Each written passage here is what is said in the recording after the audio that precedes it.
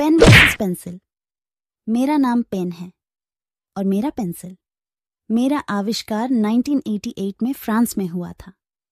मेरा आविष्कार तुझसे कई साल पहले 1795 में फ्रांस में ही हुआ था। मेरा आविष्कार पोट्राचे पोइनरू ने किया था।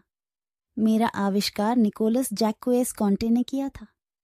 मुझे थ्री क्लास से ऊपर के बच्चे लिखते हैं और मुझसे छोटे बच्चे लिखते हैं। तू तो बात ही मत कर, तुझसे लिखते वक्त तेरा मुँह ही टूट जाता है। अच्छा बेटा, और तू जो लोगों के बैग में उल्टी कर देता है।